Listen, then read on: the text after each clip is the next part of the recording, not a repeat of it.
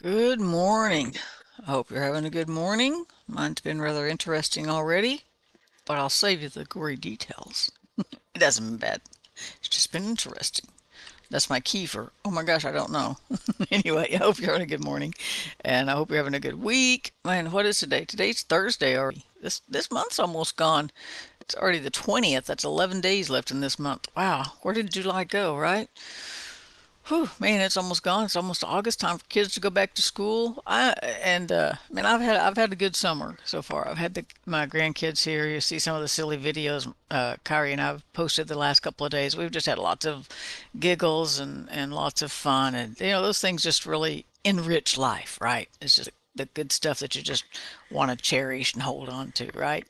So uh, anyway, so that's been good, and I hope you hope you've had a good summer. Hope you're ready for school now. You know, everything starts shifting this time of year. We start getting we're gonna start getting settled back into routines and or different routines, and kids go back to school.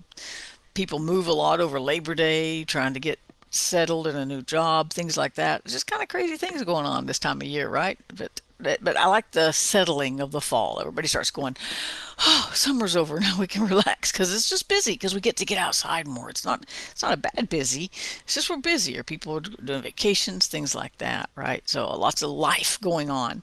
You know what? We're going to have life going on as long as we're breathing this is a thing to be thankful for, right? We have life going on, and and that doesn't mean it's bad things. It, that can be good things. It can be in between things. It can be exciting things. It can be oh my gosh things. It can be a lot of different things. There, there's a lot of emotions that that make up a day, that make up a week, that make up a month, that make up the years and the decades that we get to spend in time. Right, and so, uh, but there's a lot of things that make up this thing we call life, and it, and and there's emo- all these emotions that go every single day. So I was looking at this scripture in Peter today, and what I was looking for was that at the last part of the scripture. Okay, and it says this that God will uh, perfect us. That would be mature, help us grow, right?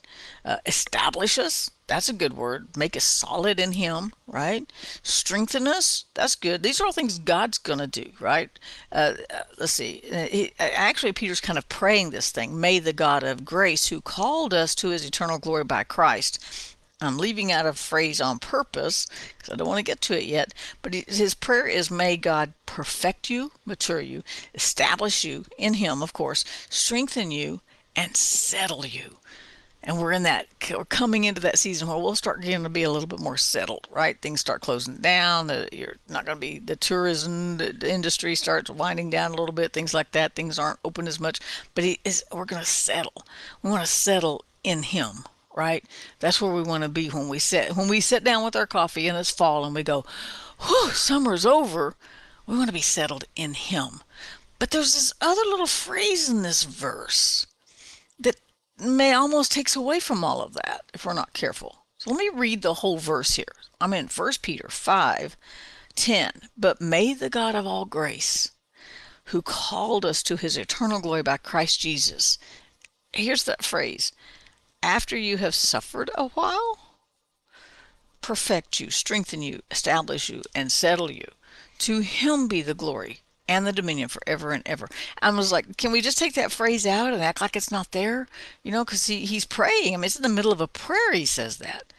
But he, if we remember, when we look back at the first of Peter, he's writing to saints who have been scattered. He's writing to saints that have have been persecuted, right? Uh, to those who are going through a really hard time in the church. You know, the church is new and it's not widely accepted by the religious community for sure because they didn't ever quite accept Christ, the, the Sadducees and Pharisees. So there's a lot of turmoil going on in the middle of a whole lot of good stuff. And isn't that just life? Right? I mean, not that, and we and we don't know persecution to this degree, of course, but isn't life just about there's really good things happening and there's some really hard things happening all at the same time? You know, you don't. It's not, and, sometimes there's seasons where it just seems like there's one thing after another, and you're going, oh my goodness, when will this ever let up? And then there's other seasons that's going, this is just really, this is good, this is all right, but. It, a lot of times it's kind of a mix of both, right?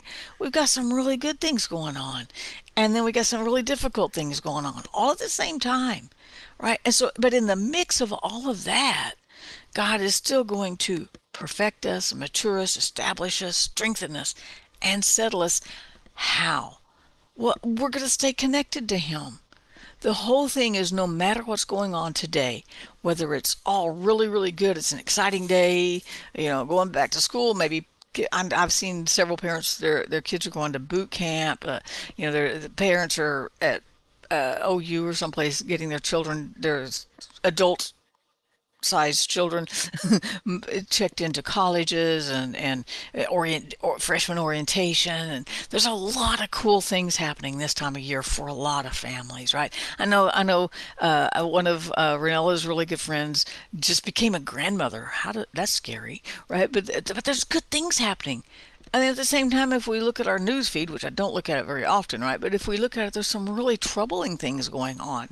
You know, there, there, there's there's so many issues that are have just become a part of our world that are saddening, troubling, disheartening, and very difficult to deal with. So we've got all of this mix all at the same time. But you know what? That's no different than when Jesus walked on this earth right? There were a lot of really good things going on and a lot of really hard things going on at the same time. And it's it, so the mix is always there.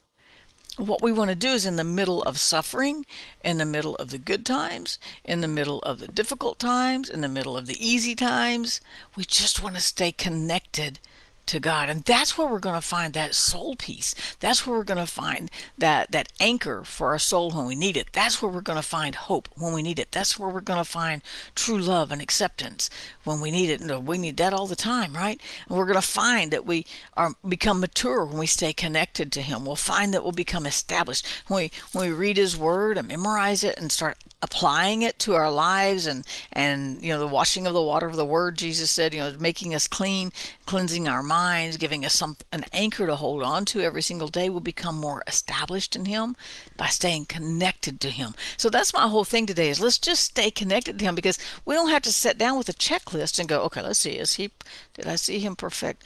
Was there anything, what did he do to strengthen me today? What did he do to establish me today? Or what did he do to, to, to settle me, to get, to, to ground me back to him today? No, that's on us. We just got to stay connected. And as we stay connected to God, stay in his word, stay in prayer, fellowship with other believers, as we stay connected to him first, ultimately, we'll begin to see these qualities. See, remember the fruit of the Spirit?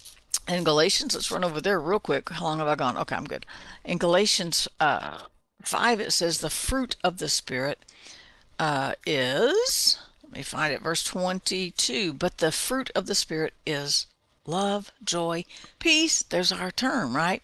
Patience, kindness, goodness, faithfulness, gentleness, and self control. But see, fruit doesn't just, you, you can't make a plant have fruit.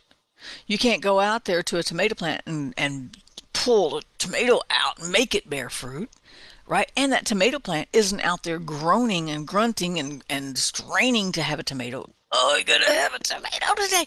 No, what happens is when the elements are all right, the, the, the plant will produce fruit. When you have the water, when the temperature is right, when the, the sunlight is right, an orange tree is just going to make oranges naturally. A banana tree is just going to grow bananas naturally. A tomato plant is going to grow that fruit. The fruit comes naturally without the strain and the stress, right? Now that doesn't mean that the that the plant doesn't ever have any stress. It, right now we've been in a heat wave and the plants are a little stressed. Now we're going to get a break and they're going to really come on here pretty soon, right? But in the middle of that, the fruit that comes from the indwelling Spirit of God in us is just going to happen naturally. We're going to look up one day and realize we love people. Wow, how did that happen? We'll, look up and realize we have more compassion toward our fellow uh, humans, you know, our neighbors or our friends or you know whoever we come in contact with. We'll, we'll realize we have compassion. We'll go, where did that come from? I didn't even like them yesterday, right? And and that's because it's a fruit that grows because the Holy Spirit is living in us, and that Holy Spirit living in us is going to. That fruit is the natural byproduct of the elements all being perfect. That means you're watering your soul with the word. You're you're fertilizing it with prayer. You're you're conversing with God and in relationship with him. And so the fruit is just going to grow. You actually can't stop it. You, you won't even know it until it's there and you go, "Oh, there's an orange. Oh, there's an apple. Oh, a tomato." Right? Because those things will just will begin to grow in you. And in the middle of all of that, then you'll find yourself here in First Peter where it says you'll find yourself becoming mature. You'll find yourself being more established. You know, one of the coolest things about learning the word is is when something happens, good or bad. Even when I'm watching a movie, sometimes I think of a scripture when something happens. I'm like, oh no, no, God's not giving me a spirit of fear, right? Or what time I am afraid I will trust in Him. And I don't watch scary movies. Don't get that wrong. But the when you put that scripture in, it comes back up. It's there for you to use. The Holy Spirit will remind you of that scripture, that that one that you've grabbed as an anchor for your soul, right? He'll establish you, strengthen you, and settle you. And it's not a checklist, and it's not a you don't take a life's measuring tape out and say how much did we get settled today how much did we get established today how much did we get you know grow how much did we grow today no it just is going to happen as a byproduct of fellowshipping with him and it's the same way with peace. When you fellowship with Him and you let that peace reign, you have the benefit of you have the, all the benefits of the kingdom. It's just a matter of finding them, right? It's a matter of fellowshipping with Him and reading the Word and and growing in your knowledge of God and growing in His grace, and that these things will begin to happen, even though you don't see them or you don't feel them, but you'll begin to realize you're more settled in Him you're more established in the word. And it'll it'll become so much a part of you it's just ingrained. And that fellowship with him will just remind you help you remember that you have everything he promised. And he's going to establish it in you as you trust him. And then peace will come. Grace will be there. Mercy will be there. And you'll begin to see it operating in your lives right? All you got to do is stay connected to him. And then you can peace out. Have a great day I'll see you bright and early in the morning.